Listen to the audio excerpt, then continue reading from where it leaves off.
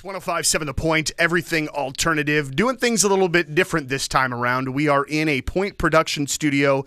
And ladies and gentlemen, I've been practicing this for about a week, so hopefully I give it justice. I do it justice.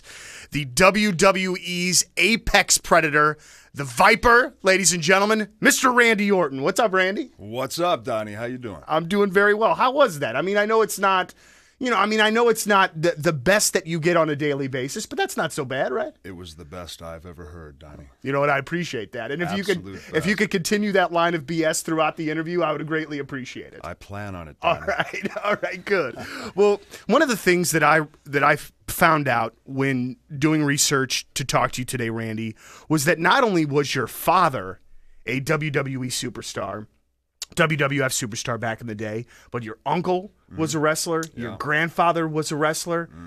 So, did you have any other choice but, but to be a wrestler? And I know that they tried to talk you out of it as well. Talk about that a little bit. Well, growing up, you know, I, I, you know, it was what my dad did for a living. It's what my uncle, my grandpa did, and, and I was aware of it. I was involved. I would travel with my father. I I was around Hulk Hogan's and Andre the Giants and Hillbilly Jims and Hacksaw Jim Duggans and Junkyard Dogs and Don Muraco's, and they were at the house. Mom cooked dinner for them when they came through St. Louis. And it was just kind of my little inside, and I didn't really know where it was going to ever go. I never saw myself doing it. And uh, parents didn't really have to talk me out of getting into the business because I was never really talking about being in the business. I was a scrawny kid, tall, skinny, hadn't really grown into my you know my feet yet until I even got in the business. But just in high school and stuff, I I you know man I didn't like school too much. Didn't really want to go to college. wasn't really uh, informed on all you know my my uh, options, and ended up going into the Marine Corps actually before I became a WWE superstar or whatever you want to call it. But uh, you know, anytime it might come up, mom shot it down, and, and it, but it was never really that big of a possibility for me. Not until I got the bad conduct discharge from the United States Marine Corps did I realize. Oh crap! What am I going to do now? You know, I worked at a gas station midnights down the street after I came home for about a month, living in my parents' basement, and it was like, one day I just said, "Dad, do you think I could be a wrestler?" Said, "I don't know, son," because you know he he didn't leave on the best terms from WWF back in the day. You know, he used to get in a bit of trouble, and so did my uncle. So he thought maybe the Orton name had been blackballed from the wrestling industry.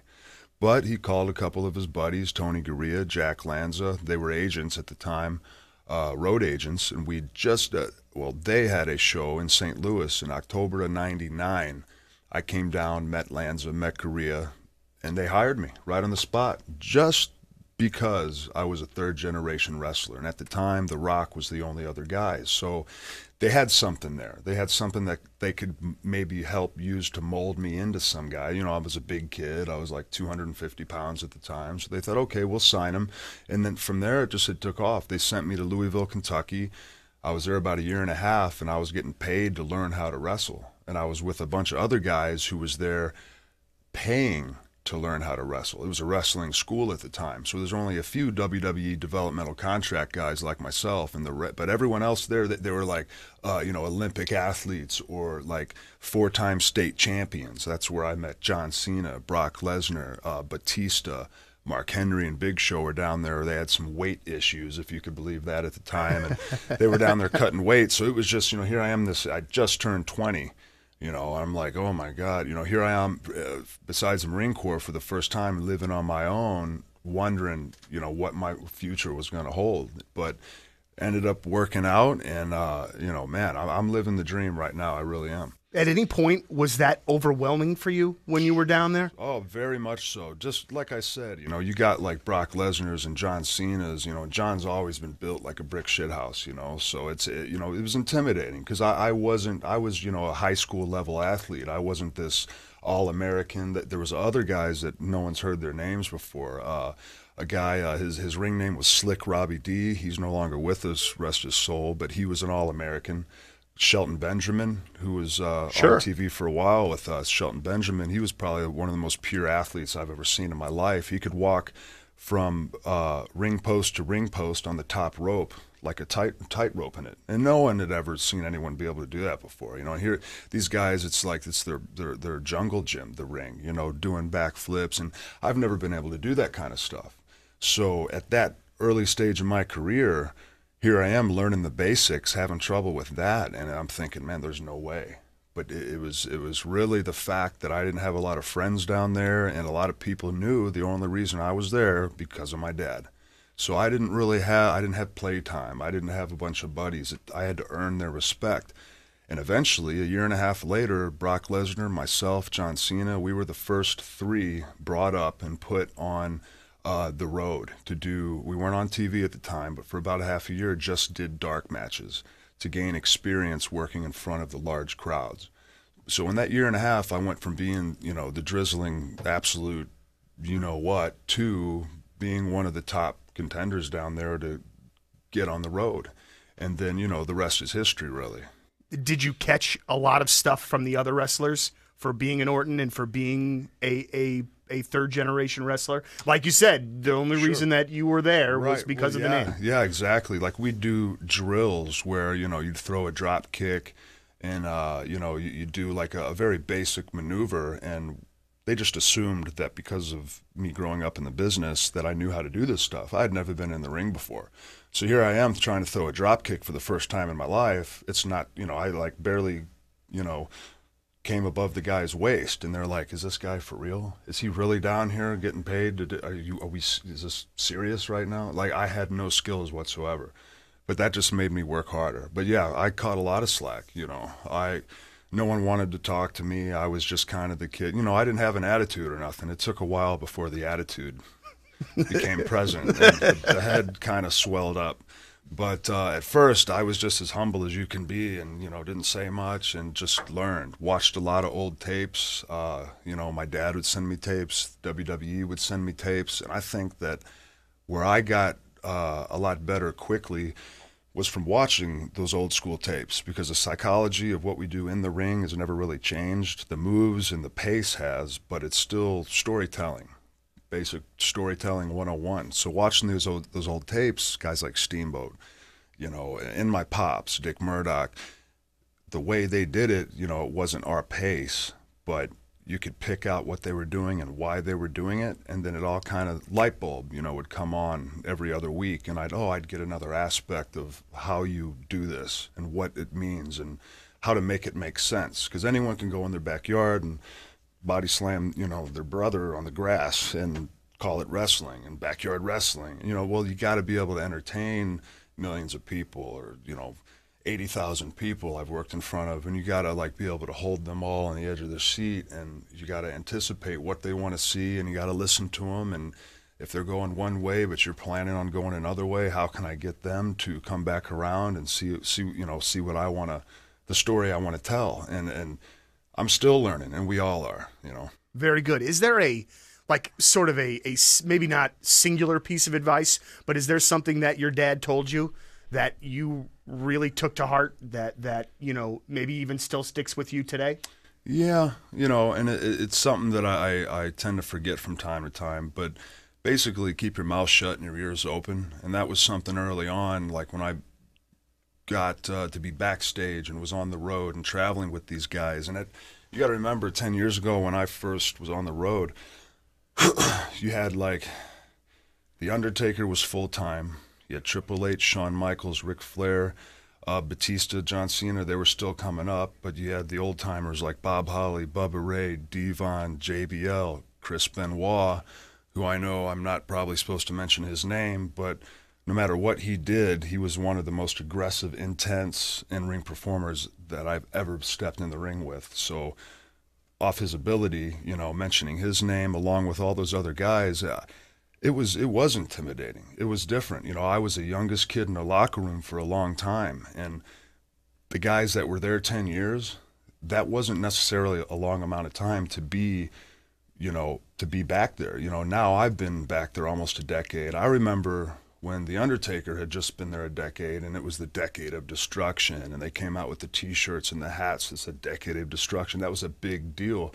Now here I am. I've been here ten years, and besides Mark Henry, uh, you know, Taker, Hunter, uh, they're still around, but not in a full time aspect. Like, there's not a lot of other guys that have been around longer than me. So, like, things have really changed in the last 10 years. And it's kind of like the Rams. They, they had, you know, the, the, the uh, world championship, but now they have a younger team and they're kind of rebuilding. They're in that rebuilding process. I think our roster is similar in many ways. Where I used to be the youngest at 22, now half the locker room's 22 you know, instead of walking into the locker room and seeing all these grown behemoths, these men with hair on their chest and grizzly old voices and drinking beer after their matches. Now it's, you know, everyone's got their Gatorade and they're, you know, they're all shredded and, you know, but it's just, it's not as intimidating, I think, as it used to be. And I think a little bit of the, uh, I don't know, the allure of our business has went away with that because the Rocks, Austins, Takers, Shawn Michaels, I mean, you don't have that 20 guys that can all have a main event match. Now, you know, on SmackDown, you, you got myself, Mark Henry, Sheamus, and Christian, and it's a rebuilding process. It's a younger locker room. We're trying to get those Ted DiBiase's, those Cody Rhodes, uh, Dolph Ziggler's, Kofi's, even The Miz. He's got a lot of room to grow. We're trying to get those guys, the mid carders and low carders, up to the level so that hopefully in five years we got 10, 12 top guys that can, you know, draw a whole live event, you know, give people a reason to come buy a ticket. Boy, it just sure seems to me though that those mid-tier guys, it just seems like just to me as a fan, you know, mm-hmm. as, as a guy that watches every week, uh, it just seems like you've got a lot of those types of guys though, but a, but a, a lot of quality guys. All yeah. those guys you mentioned are really good at what they do. They are, but they're only as good as you know if they only have three minutes on Raw or SmackDown of a two-hour show. Of a two-hour show, if they only have three minutes of that two-hour show to to try and get themselves over or display, you know, to the world what they're able to do, you know, that's not enough time. You know, and uh, I think that's probably the biggest problem is that there's not like, you know, they'll go with the guy for a couple weeks, maybe a month. He'll start to be cooking, then all of a sudden they pull back, and then you don't see him for a couple weeks. That hurts. You know, I, I got to where I am today because – you know, for six, seven years, I didn't miss a TV, barring any injuries, of course. I, you know, I was everywhere you looked. I was involved with Triple H and Shawn Michaels. I've gotten beat up and beat up Goldberg and Scott Steiner and Hulk Hogan, and the list goes on. I've been able to work with all those guys. Cody Rhodes, Ted DiBiase, they were the last guys to get to work with DX, the of the young guys. Mm-hmm. Triple H and Shawn Michaels. Uh, working with them. Being in Evolution myself with Ric Flair and Triple H, just you get so much experience points, you know, from working with these guys and not only learning inside the ring stuff, but locker room etiquette and just how to conduct yourself, how to be a WWE superstar, you know, and a lot of that, you know, there's not as many of us that have been around to get to all these guys. You know, we got a, we got a job to do too on TV, and it's hard to get in everyone's ear. So it's really just kind of you have like a side project, and I'll have like a, a, side project or two at a time. Like that Jinder Mahal, he was cooking for a while. Now mm-hmm. they pulled back on him, and it's like I see a future in him. He's a big kid. Boy, he's a great bad guy. You love yeah. to hate that guy. Right, right, and that's and you saying that, you know, that shows me that you know we've done right by him, but he's kind of fizzled out. You know, him and Great Khali were doing their thing, and you thought you were going to expect some big things from this kid, and now all of a sudden it's like, man, he hasn't been on TV in a couple weeks. You know, like that people forget. They you got to you know burn it in their brain of who this guy is, what he's about, what you know this means to him, and what he's after, and you got to you know ref- keep it refreshed, keep it going, show what happened last week, have it lead to something. You know, develop these characters and it's hard, you know. Like our writers, our uh, our creative team have they have a tough job, you know. But it, uh, it's on them, but most of it's on us. Mm-hmm. You know, it, most of it's on us. Now, do you uh, the the way that you speak so passionately about kind of the the angles and the way that things go? I mean, can you see yourself working in you know the creative part maybe after your career is over, which we know is a long way away? But no, no, no never. Um, I love what I do. I, I, love showing up to the show, a couple hours later, you know, they close the or they open the doors so the fans start coming in. You know, we have to leave the uh, the arena area. We're all backstage, and you hear those fans come in, and then they start to rumble, and they'll, you know, tonight I'm sure they'll break out in an RKO chant, you know, or "Welcome home, welcome home, Randy," you know, like that. That that's awesome, you know, and every you know Australia, South Africa, Qatar, in the Middle East, all over Europe Central America, you know, South America, you know, Canada, we're everywhere. And every show, they have a different level of energy, some higher than others, but it's always high. And it always gets you feeling that way. And that's what I love about this business. Walking down the ring, whether I was a bad guy or a good guy, you love it all. As long as there's a response, you're doing something right. Mm. And that's what I love about it. Being in the ring and being able to kind of, you know, dictate how the fans feel you know, get them behind me and then get them really want to see me kick the living crap out of this guy that I'm facing. And being able to not manipulate's the wrong word, but in a way, manipulate the fans to react a certain way and then succeed. There's there's really not not a better feeling. It's kind of like being an adrenaline junkie, uh, adrenaline junkie, and you know going 150 on your Harley or, or, or jumping out of a plane with a parachute on. Like I, I've done the 150 on a Harley, haven't you know done the parachute thing yet, but that adrenaline rush, like that's what I related to, is that every night I get to have this adrenaline rush that no one really can relate to. And that's what I love about it. Being backstage and being involved with creative and, you know, even teaching guys, like, I don't think that's really my role. Mm-hmm. I was born, in a sense, to do what I'm doing now. And when I'm not able to do it anymore, then I think I'm done. I, I, uh, I'm sure there'll be talks like Randy, we'd like to have you do this or that, but you know, I got a family at home. Like I know uh, a lot of my fans are aware. I, have been married four years now. Just celebrated my four-year anniversary last week. I have a three-year-old daughter who just started school, so I don't get to see them much. And and you know, I started early, so give me another ten years, I'll be 40, and you know, if that's it for me, that's it. I think a 20-year career save your money, invest well, be smart. A lot of us aren't. And mm-hmm. a lot of us aren't fortunate enough, fortunate enough in this day and age to make the kind of money where you can retire at 40, you know, in this business is what I'm saying. So I want to be one of those guys that can enjoy my family, do some do what I want to do, travel and actually get to tour, you know, be a tourist in these beautiful places that I've been all over the world that I've never been able to see. Take my daughter and my wife to these places and get to enjoy being a dad, enjoy being a husband, because in a very limited sense, right now, am, am I able to do that? Mm-hmm. You know, I love what I do, and it's my livelihood. You know, it's bringing home the bacon, so there's that too. Right. Uh, but when I'm able to retire, I will retire, and I want to say that I'll be able to walk away. But in a sense, I'm sure Vince will have me, you know, by the balls somehow, where I'll be doing stuff, you know, but uh, as a, on a full time basis, no way. Right on. Yeah. Well, let's talk about some in ring stuff that's going on here lately. Sure. Uh, you have got the big six four 420 pound Mark Henry to deal with at Hell in a Cell on Sunday. That's right. How do you take on a guy that's that friggin' big? My, because I mean, you're it's no small tough. guy yourself. No, I mean, I'm I'm about average for our locker room. Mark Henry, though, he's on the the other end of the spectrum. He's a big guy. Uh, and you know he he's the world's strongest man. That's his, his his gimmick, right? Well, it's not a gimmick that dude is strong. And there's stuff he's done that throughout history, like only two or three people have been able to do what he's done. There's a lot of records that he has, world records that haven't been broken from like 15 years ago. There's a lot of the weird, like strongman things, like where they pick up the 400 pound boulders and put them, you know, like he can do some of that stuff. Like he, he has grip strength that is just, you know, unimaginable. I've seen him take an iron skillet and roll it, and you, you you know, roll it into like a, you know, like a newspaper.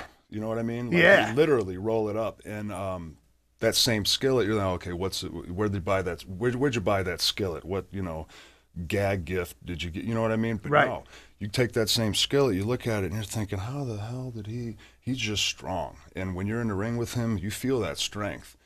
And he's so big. You know, I'm like you said, I'm a big guy. I go to the gym, I can push some weight around, but that power slam I do, the the DDT where the guy's feet are hanging. I need to come up with names for my moves because I don't even, you know, the backbreaker, all that stuff I do. I can't do that to him. Right. You know, I just barely was able to DDT him with his feet on the ropes at uh, the last pay per view, but that wasn't enough because he beat me for my title. You know, at Night of Champions. But as you're saying, of course, at Hell in a Cell uh, next Sunday, I believe it's in New Orleans. I get another shot, and it's in the Hell in a Cell. Now, I don't know if he's had a Hell in a Cell match. I want to say that's a no. I've been in three of them. I wrestled The Undertaker, John Cena, and Sheamus in a Hell in a Cell. I'm two and zero, or two and one rather, in, in my Hell in a Cell matches. So I got a little experience going into this match that he doesn't have. But you know, I'm gonna be locked in a cage with this guy, man. Like you said, a 400 pound man. You know, he's he's with some strength behind him. You know, there's nowhere to run for neither of us.